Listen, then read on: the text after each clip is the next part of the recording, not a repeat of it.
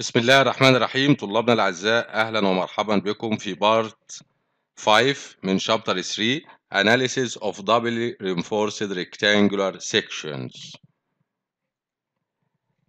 في ال section دوت عايزين نتعلم إيه؟ نتعلم لو أنا عندي قطاع والقطاع دوت عايز أحسب له ال moment capacity نحسب ال moment capacity اللي هي M بس القطاع دوت double reinforced يعني أنا عندي حديد موجود في ال compression side area steel dash ده توزيع ال strain وده توزيع ال stress وأدي ال tension force ده ال strain اللي موجود في ال tension steel ده ال strain اللي موجود epsilon s dash اللي موجود عندي في ال compression steel ده ال strain بتاع الخرسانة اللي هو epsilon c u دي ال compression force اللي موجودة في ال concrete ودي ال compression force اللي موجودة في ال steel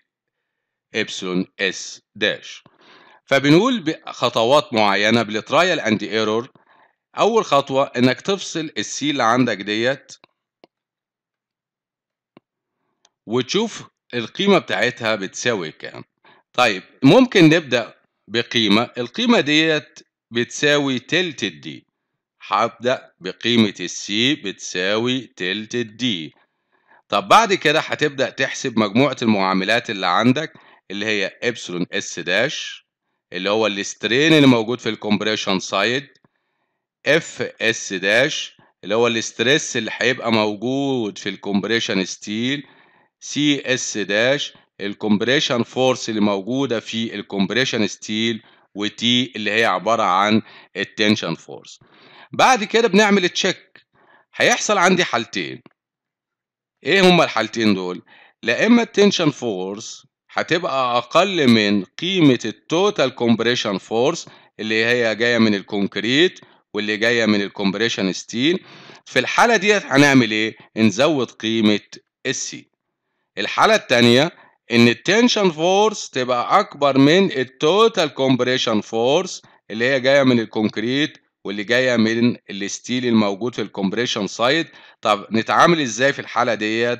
ترجع تقلل قيمة السي نعمل المحاولات دي لغاية لما تظبط معاك تلاقي ال tension force بتساوي ال compression اللي جاي من ال concrete وال compression force اللي جاي من ال compression steel في الحالة دي تقدر تحسب ال moment capacity بتاعة القطاع. طبعا بنقول الطريقة دي بتعتمد على ل trial and error يعني بتعمل أكتر من محاولة لغاية لما بتظبط معاك. وإمتى تظبط معاك؟